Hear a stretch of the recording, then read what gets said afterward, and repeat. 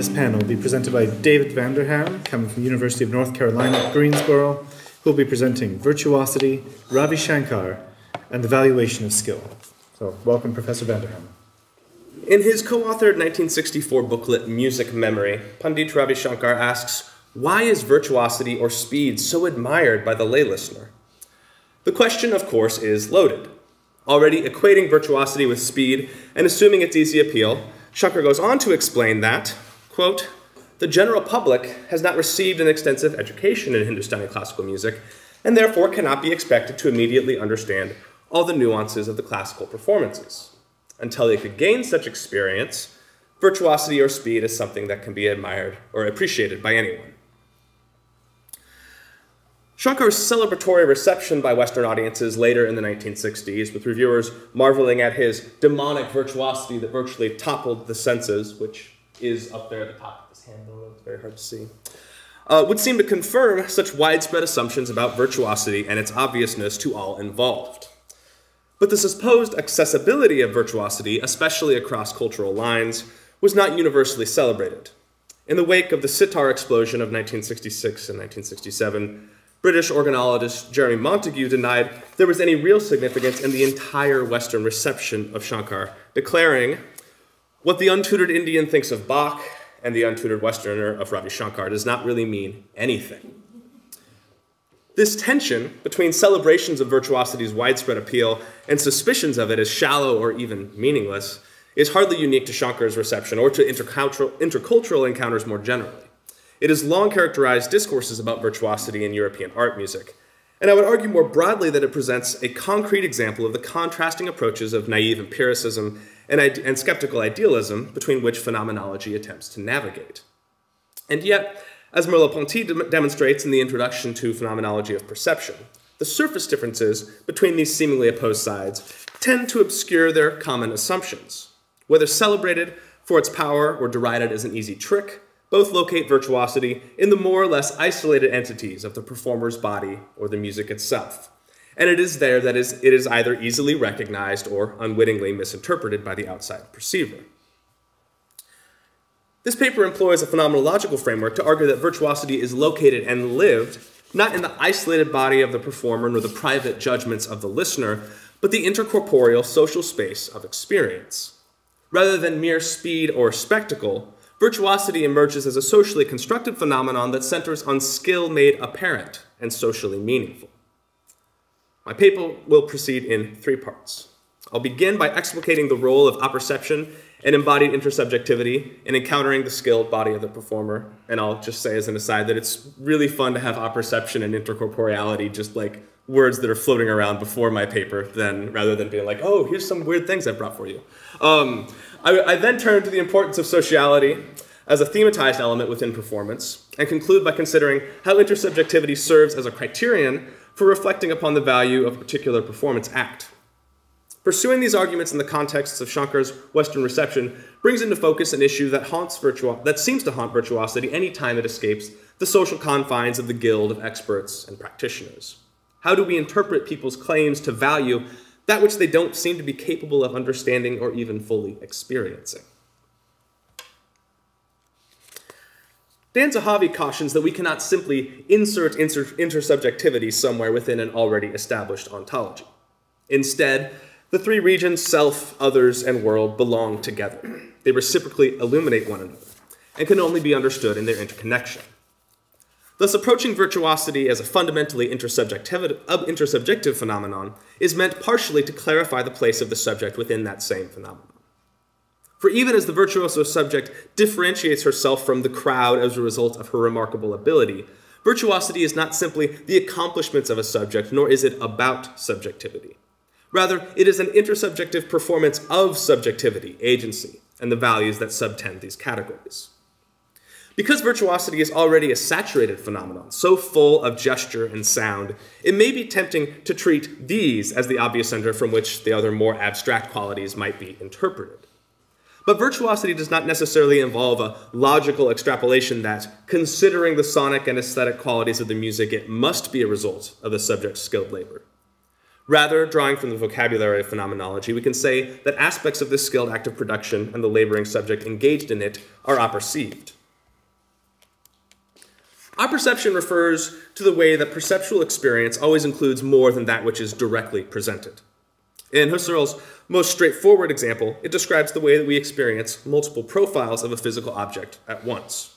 When I look at a book, I directly perceive only a single side from my particular vantage point, but its other sides are also dimly present within my experience.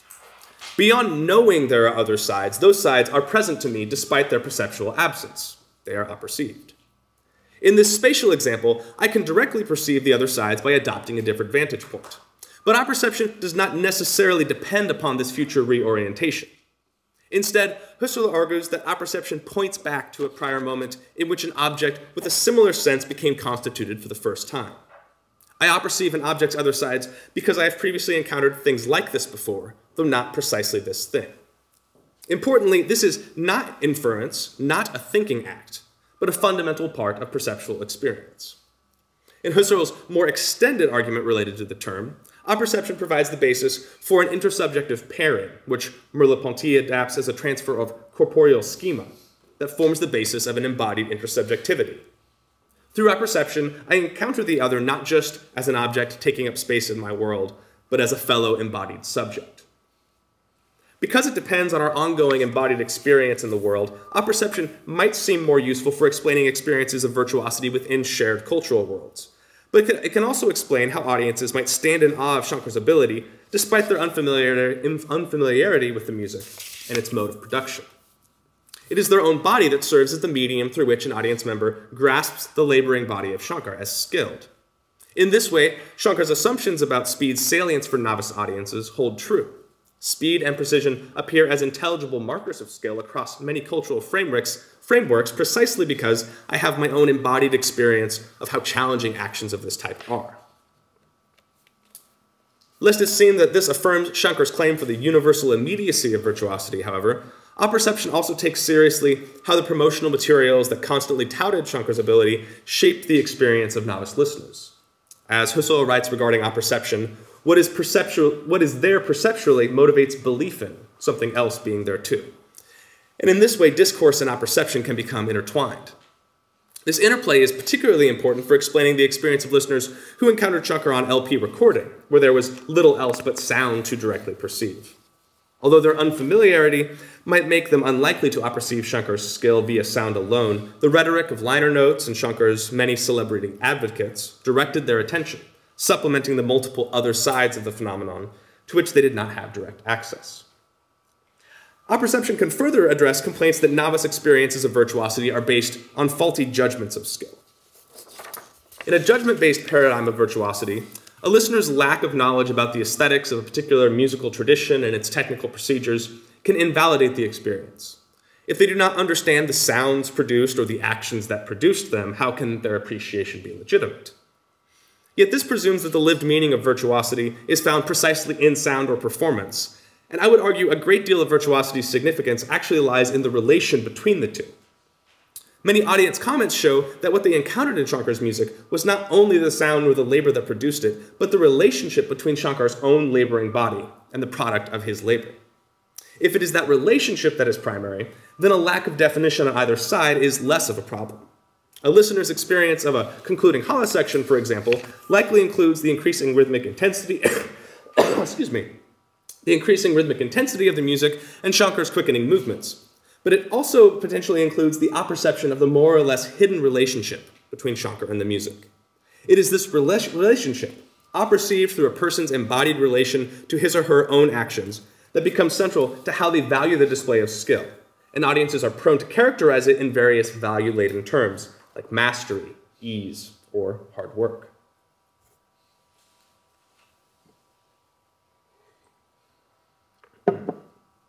Beyond the implicit role of embodied intersubjectivity in virtuosity, many reviews of Shankar, especially early on, point to musicians' social interactions as key to the construction of virtuosity in, a culture, in an intercultural context.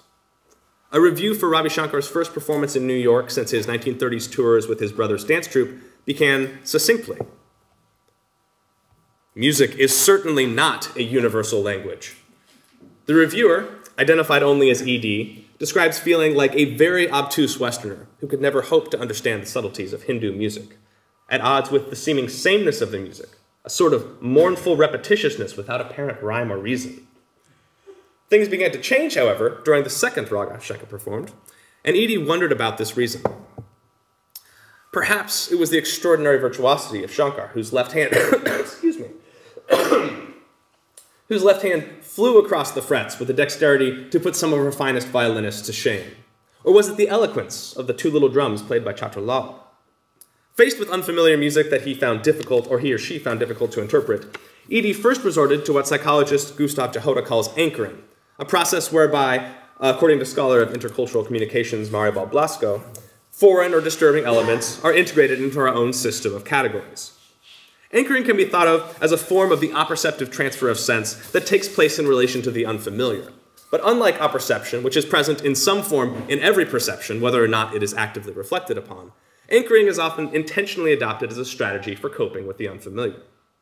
ED does this first with a comparison of Shankar to a violinist, but the unfamiliarity of the, unfamiliarity of the music eventually led him or her to focus on the socio-musical exchange between Shankar and Chatur Lal. More than the virtuosity of either artist, it was the communicative understanding between the two and their growing musical excitement that communicated itself irresistibly to the audience. Since its music is half improvised on traditional rhythms and melodic formulas, it is perhaps natural that superb performance should impress itself first on the foreign listener. Absent the necessary background to interpret the sonic results of Shankar's action with the critic's presumed authority, ED focused on the collaborative social context of improvisation in which they took place. Although ED does not take the time to explain precisely how he or she observed the relationship between the two musicians, available signs of successful interaction are myriad, including sonic indi indications like question and answer phrasing, or the shared, perhaps surprising accented beat, and visual cues like head gestures, eye contact, and general bodily comportment. This focus on social interactions persisted into later reception as well. Listen to this audience member discuss her experience after a 1967 performance. There was one point in there, I, you know, I can't really tell what he's doing from this distance, like, but he, but he seemed to be, like, you know, moving with it, and he was just playing with one hand, and the other hand he was, I don't know, really getting in with it. And I don't know, it's sort of like um, watching a god, because he, you know, and he turns and he smiles at the, at the tabla, and it's like, you know, it's just their own little world. They're not, you know, he doesn't care if everyone out here is coughing and, you know, looking at the names of the ragas and looking, you know, intellectual or something. But I mean, you know, if he started making noise, maybe he'd mind. But it doesn't seem, you know, like an artist who's playing for the audience or who's trying to, you know, evoke a certain emotion or something. It's sort of, it's just that he's doing it for himself, and he's sort of giving you the privilege of sitting in on it for four ninety five. I know the experts on Hindustani music in the room. Uh, we could talk about the ways that she is completely misunderstanding what the relationship between audience and performer is here, but I think we might anticipate a godlike comparison to focus on seemingly superhuman technique or shows of power, the presumed hallmarks of virtuosity. Yet what this listener experienced as godlike, as a godlike display of agency, was Shankar's sheer absorption in his musical labor and the meaningful social connection he enjoyed through it. She admits that she was too far away to even see his actions. Yet the perceived relationships between Shankar and his own labor and between the two musicians made it a powerful experience for her. I focused thus far on the role of intersubjectivity and apperception in experiencing virtuosity, and on the sociality of performance as a more explicitly, explicitly thematized object of perception. In concluding, I want to consider how intersubjectivity also emerges as a criterion for reflective judgments about virtuosity. A passage from V.A. Howard's Charm and Speed demonstrates this tendency. Considering some examples of non-musical virtuosity, Howard reflects on his experience watching a cheetah chasing a hare on television. I'll read this quote.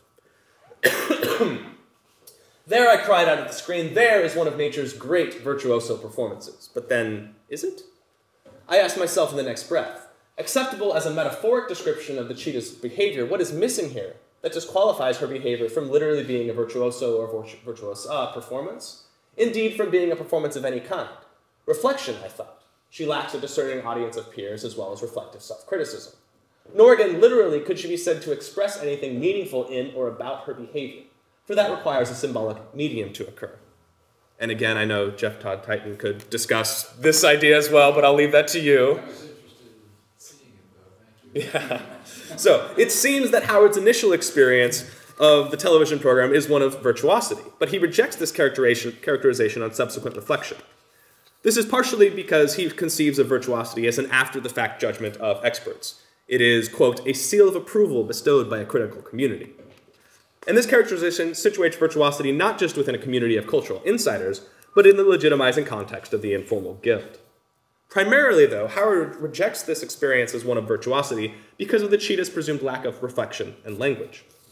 This again connects to my earlier argument regarding the apperceived relationship between performance, performer and performance, for there is nothing about the act itself that disqualifies it. Instead, it is the animal's apperceived relation to her act that is deemed insufficient. Without language and reflection, which stand as key traits of subjectivity and agency for Howard, he finds himself unable to affirm the degree of intercorporeal intersubjectivity he initially felt. This simple example of everyday media consumption thereby inadvertently demonstrates the stakes of virtuosity. If the phenomenological approach to virtuosity as skill made conspicuous and socially meaningful initially provokes straightforward questions about what counts as skill and how it comes to matter in a particular context, these form the background of much more serious questions. Who counts as a subject?